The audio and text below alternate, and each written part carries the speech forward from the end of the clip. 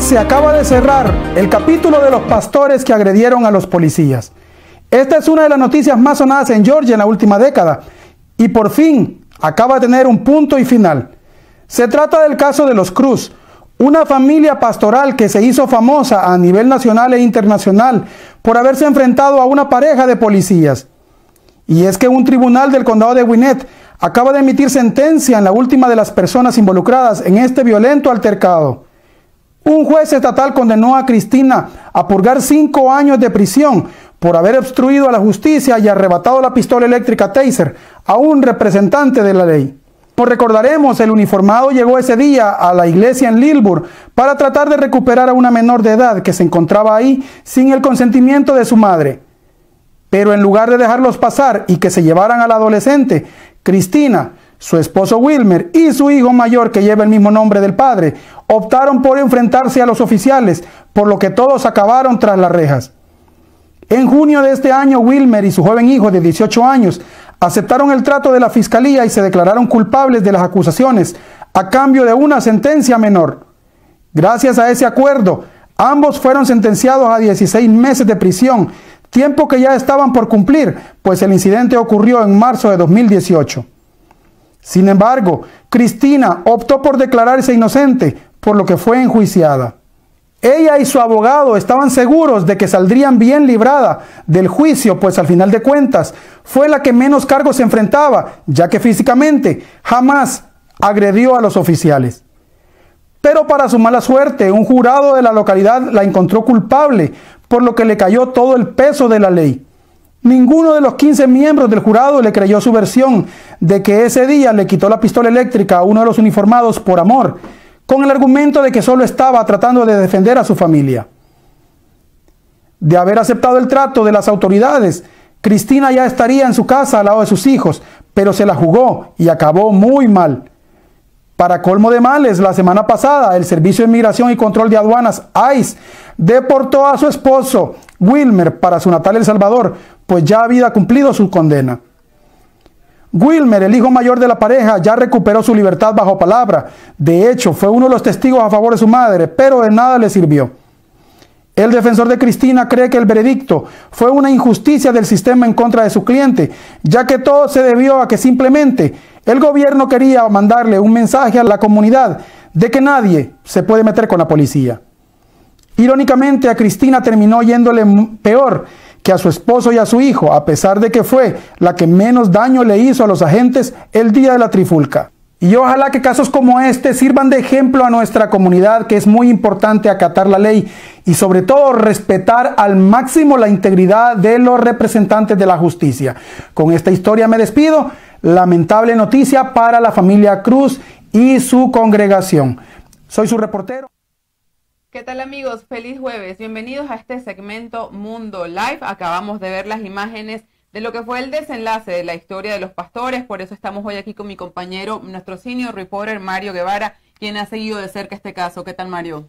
Hola María Bastidas, un placer como siempre y a toda la audiencia del mundo hispánico que fielmente está en sintonía en nuestras noticias. Mario, acabamos de ver lo que ha sido el desenlace de esta historia que comenzamos a cubrir desde marzo del año pasado. Tú has seguido de cerca este caso, tú fuiste la primera persona en encontrar a los pastores ahí en la calle enfrentándose a las autoridades. ¿Por qué no nos hablas un poco de este momento tan importante donde ya se da punto final a esta historia? Bueno, fíjate que qué curioso porque justamente ha sido más de un año el que ha pasado en la, literalmente en la incertidumbre el caso. Muchos de nuestros lectores preguntándonos, oiga, quiero saber qué pasó con nuestro, con los pastores. Y algo otro nos decían, oiga, ya condenaron a los pastores. La gente quería saber porque el caso se hizo sonado tanto a nivel nacional como internacional. Recordemos de que ellos son de origen salvadoreño, así es que la noticia, eh, incluso hasta donde sabemos, llegó a República Dominicana, México, Honduras, todo Centroamérica, porque es poco usual que una pareja de líderes religiosos venga y se enfrente a este nivel de violencia con, con dos policías de Estados Unidos, porque sabemos de que aquí en Estados Unidos la ley es bastante severa y se supone, ¿verdad? Se supone que por ser líderes religiosos como el mismo juez les dijo al pastor y a la pastora, que ellos tenían que haber dado un ejemplo y haber eh, literalmente sido pieza clave para su congregación al demostrar respeto a la autoridad, pero lo que hicieron fue todo lo contrario. Quiero, quiero que me resumas un poco, Mario, ¿cuál fue la condena? O sea, estaba la pastora, el pastor y el hijo de ambos. ¿Qué, ¿Qué condena recibe cada uno de ellos por la agresión que tuvieron hacia los policías? Bueno, fíjate que en la fiscalía desde un principio les dijo, todo apunta a que están, ustedes van a resultar culpables. Así que le proponemos un trato. Ahorrémonos un juicio costoso que va a implicar tiempo y dinero al condado. Declárense culpables y les vamos a dar la sentencia mínima. Eh, el pastor y su hijo fueron muy bien aconsejados por el abogado y obviamente ambos se declararon culpables. El juez a cargo del caso le dijo, bueno, como ustedes aceptaron su culpabilidad y han pedido disculpas a los policías afectados, les voy a dictar la sentencia mínima. Fueron 17 meses de prisión. En ese entonces, cuando le dictaron sentencia, ellos ya tenían 13 meses en la cárcel, lo cual eh, significaba que le faltaban 3, 4 meses más para que salieran libres. Y así fue. Ah, cuando se cumplió la condena, el hijo salió en libertad porque ya tenía 18 años y el padre pasó a manos de inmigración, ya que el padre, como eh, reportamos en su momento, tenía TPS, pero basta con, un delito de este tipo para que pierda cualquier estatus legal. Y el padre perdió su permiso de trabajo y pasó a manos de ICE. Apenas el viernes, o sea, mañana hace ocho días, eh, que el padre fue deportado a El Salvador. Así es que, lastimosamente, ¿verdad? Eh, Cristina, a ella le salió el tiro por la culata. Ella pensó todo lo contrario. Ella dijo, como yo soy la que menos hice, como yo no golpeé a ningún policía, no estrangulé a ningún oficial, mi único error fue haber defendido a mi familia porque le quité la pistola taser a un policía, eh, no me va a ir tan mal. Y eso fue lo que, lo que ocurrió. Ella decidió declararse inocente y pues bueno, al final todo salió en su contra. Quiero, quiero que hablemos un poquito más de Cristina, Mario, para que me des más detalles de lo que ha sido su posición frente a esta, eh, a esta agresión. Pero antes quiero saludar a la audiencia porque ya están conectados muchos de ustedes. Tenemos más de 2.400 personas conectadas. Quiero darle saludos a Maribel Esparza, que dice saludos cordiales para todos. Ana Escalante dice, qué violentos con la Biblia en mano. Mervin dice, una pregunta, tengo que tener licencia para ver el video, probablemente eh, no necesitas licencia, solamente con ver aquí este, lo puedes disfrutar aquí con nosotros. Eh, Benito nos dice, de seguro no quisieron dar diezmo a esos policías. ¿Por qué eres tan ignorante? Dice Cindy, ¿dónde está tu Dios, charlatanes? Vemos aquí en los comentarios que definitivamente, sabes, este es un caso muy polémico. Muchísimas personas están en contra de que hayan sido precisamente esos pastores los que hayan atacado a la policía, ¿no? Como dices tú, dar un ejemplo malo a la comunidad. Pero en el caso de Cristina Cruz, que es la, mamá del, del, chico y esposa del pastor en este caso, ella es la que se lleva la peor condena porque ellos salen en 16 meses y ella la acaban de condenar ahora a 5 años de cárcel cuando entendemos que ella fue la persona que menos agredió a los policías. Entonces tú mencionabas ahorita que le salió el tiro por la culata. ¿Por qué ella entra a hacer un juicio más largo? ¿Tú tienes alguna información del por qué ella no va con el esposo y el hijo a declararse culpable también desde el comienzo, si las imágenes eran muy evidentes y se veía el ataque de todos. Claro, fíjate que el, peor error de ella es que básicamente no aceptó el trato de la fiscalía. Si ella hubiera aceptado, eh, aceptado el trato de la fiscalía, lo que le ofrecieron fue 11 meses de prisión. Ella había estado 4, lo cual significaba que en 5 meses ella hubiera vuelto a su casa. 11 meses no le hubieran contado como felonía o como delito grave, le hubieran contado como un delito menor. Y eso era posible que un buen abogado mm, impidiera de que inmigración le quitara su permiso de trabajo, lo cual era muy probable que ella permaneciera en el país con un delito menor. Pero ¿qué sucedió? Ella decidió ir a juicio y a cambio de eso, obviamente, eh, la encontró culpable el jurado compuesto por 15 personas, de los cuales habían tres hispanos. Yo estuve allí el día que ella fue encontrada culpable y el jurado por decisión unánime declararon, la declararon a ella culpable de todos los cargos, que en realidad fueron dos, obstrucción a la justicia y haber robado parte de un equipo policial, lo cual fueron felonías, y el juez le dijo, te puedo dar de 3 a 10 años de prisión, pero él decidió eh, un término medio, le dio cinco años de cárcel. Cristina, Cristina Cruz ha hablado en varias oportunidades con Mundo Hispánico, nosotros la hemos entrevistado en su casa, vino también a nuestras oficinas, buscando un poco dar su opinión y explicar su testimonio, en el que ella asegura que lo que ella hizo lo hizo en un momento, eh, sabes, como inconsciente, en un momento en el que reaccionó tal vez de una manera no apropiada para defender a su hijo, para defender a su familia y que lo hizo por amor. En este, en este caso, vemos en tu columna que dices que el, hacerlo por amor no la salvó de la policía, o sea, nada de lo que ella ha hecho para tratar de librarse de esta condena le funcionó. Eh, fíjate que lastimosamente para ella, y te digo lastimosamente porque voy a hablar ahora como, no tanto como periodista, sino como un padre de familia que soy. lastimosamente para ella tiene sentido lo que dice. Si ve que le están poniendo un arma, apuntando con un arma a su hijo, o sea, como cualquier padre o cualquier madre podría reaccionar. O sea, tiene sentido si lo vemos en términos humanos, en términos de padre. Pero lastimosamente estamos hablando de autoridades. O sea, quiera si o no, no era un delincuente, no era una persona que quería meterse a su iglesia por la fuerza. Estamos hablando que dos uniformados estaban tratando de hacer valer la ley. O sea que el juez le dijo ese día, usted tenía que haber dado un ejemplo a sus hijos y a su congregación. Y fíjate que no solo eso, mira, eh, en la corte aprendí que cualquier cosa que nosotros hagamos nos puede afectar en un, ante un tribunal. Por ejemplo, cuando ella habló con un hispánico, de una manera curiosa, ella vino con un traje de, su traje de capellana, con su placa colgada al pecho, todos recordaremos, de hecho, fue criticada ese día, algunos decían, hasta la placa le robó al policía, decían en forma sarcástica, yo leí los comentarios, pero no solo eso, la fiscal le dijo, ¿por qué tú llegaste vestida así? Tipo policía, le dijo. Ella le dijo, porque soy capellana, y le dijo, para una entrevista necesitabas ir vestida así, le dijo, tú no tenías que ir vestida así porque estabas demostrando que realmente no le, no le tienen el mínimo respeto a la autoridad. Y obviamente el jurado escuchó eso, eso, eso fue en contra de ella. Así es que lastimosamente te digo, cuando nosotros vayamos a hacer algo, ya sea en, cuestiones públicas o donde sea, tenemos que considerar bien si es que no nos va a afectar. Sobre todo ella había sido acusada de, de irrespetar a los oficiales de la ley. En este caso le digo al juez, si tú eres capellán o capellana Tú has sido entrenada para tratar con autoridades, tú has sido entrenada para visitar cárceles, hospitales. Tú debes de conocer la ley. En ningún momento tú tuviste que, hacer, que, involucrarte en una pelea con dos policías. Y eso le falló en contra de ella lastimosamente. Y a veces pues uno cree, ¿verdad? Esto me va a ayudar, pero es todo lo contrario, te va a afectar. Y el caso de Cristina es un fiel ejemplo de esto. Pero lo más detonante fue que ella en ningún momento eh, aceptó, ni pidió perdón, ni pidió perdón, ni, ni, le dijo al juez estoy arrepentida de lo que hice. Realmente, todo lo contrario.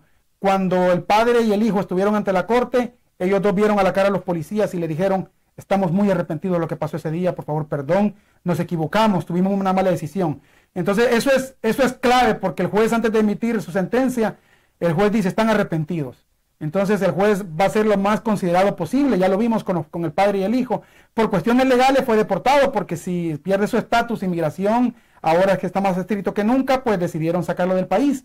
Pero eh, en el caso del hijo, él ya salió, le dieron cinco años de libertad condicional y el juez le dijo, si tú no cometes ningún otro delito en cinco años, tú vas a quedar libre de todo. Entonces, realmente eso es lo que debió haber pasado con, el, con esta familia, ¿verdad? Una familia que, nunca lo hemos tildado de mala. Yo, yo siempre personalmente he dicho, eh, eh, eh, es una familia normal como cualquiera, simplemente cometieron un grave error, que fue haber, haberse puesto al tú, por tú con las autoridades, en lugar de decirle, aquí está una menor de edad, la vienen por ella, llévensela. Y se acabó el problema. Mario, ¿tú crees que ella tomó una mala decisión al confiar en los abogados que a lo mejor le sugirieron esto de irse a juicio y no, y no declararse, declararse culpable? Porque creo que en esos momentos, ¿sabes? En la vida siempre se nos presentan esos minutos en los que tienes que tomar una decisión. ¿Me declaro culpable o me declaro inocente? ¿Le hago, ¿Sigo la recomendación del abogado o, hago a lo mejor lo que me dice mi corazón? O sea, ¿tú crees que en ese caso ella fue mal asesorada por abogados tal vez que la tienen hoy donde está? Hasta donde sé, los abogados fueron eh,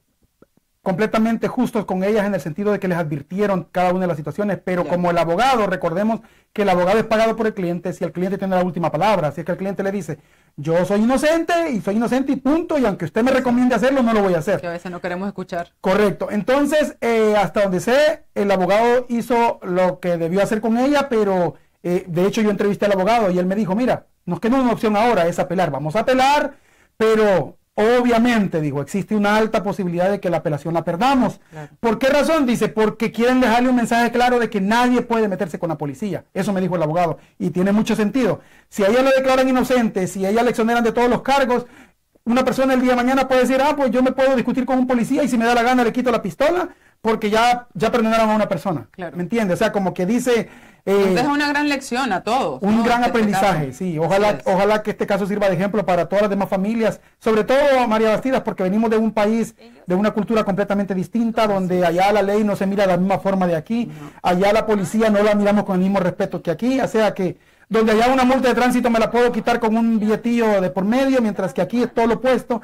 Entonces esos cambios radicales de cultura nos tienen que enseñar de que aquí de una u otra manera tenemos que respetar, por las buenas o por las malas. Así es, tenemos más de 100 comentarios ya aquí en este Facebook Live. Quiero seguir leyendo algunos. Minor Cardona nos dice, pensaron que por ser pastores no les iban a hacer nada. Qué ignorancia. Aquí las leyes se respetan. Caterina nos dice, la hubieran deportado para que respeten la autoridad. Otra nos dice, tampoco podemos alegrarnos del mal ajeno. Hoy son ellos, mañana podemos ser nosotros y no sabemos las circunstancias. Paulo dice, nadie está por encima, así que ahí están las consecuencias. Jaime dice, pobre señora, ni modo, ya está toda perjudicada. Hernández trae un tema interesante que dice, y el abuso de la policía, que lo que pasa es que la ley de Estados Unidos siempre quiere salirse con la suya, siempre es así. Gerardo dice, lo haces y lo pagas.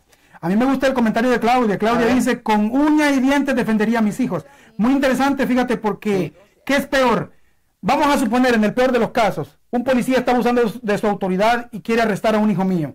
Empieza a forcejear con mi hijo. Mi deber como padre, lo correcto sería, ¿qué prefiero? ¿Que lo arresten solamente a él o que nos arresten a los dos? Mi deber como padre sería, hijo, cálmate, vamos a resolver esto de la mejor manera, vamos a buscar abogados si es necesario, hijo, cálmate, no, no pelees con el policía, tratar de poner orden sería lo correcto.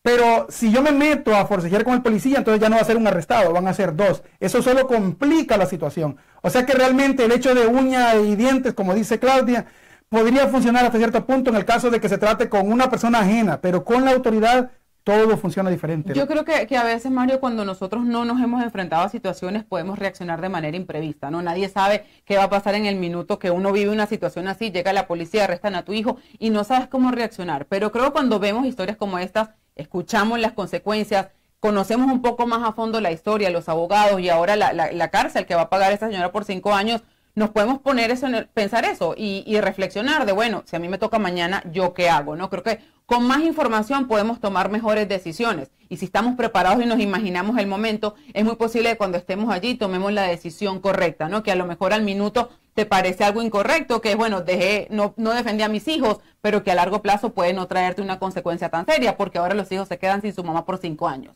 Ahora la situación es mucho más dura. Eso es correcto. Muchas gracias, ¿verdad? Porque a todas las personas que han estado conectadas a este Facebook Live, sin duda alguna han sido ya un par de miles de personas siguiendo esta noticia, una noticia que ha trascendido a nivel nacional e internacional y que todavía da que hablar. Vamos a ver más adelante, voy a tratar en lo posible de concertar una entrevista con, ya sea con el, con el esposo, con el pastor que está en El Salvador o ya sea con la, la esposa que se encuentra en la cárcel. Vamos a ver si, si alguno de ellos tiene otro, otro tipo de, de tópico que podamos explorar porque de alguna u otra manera esta es una noticia que la comunidad debe aprender. Seguro. Yo quiero ahora invitarlos entonces a ver también nuestra edición impresa de Mundo Hispánico aquí en la ciudad de Atlanta.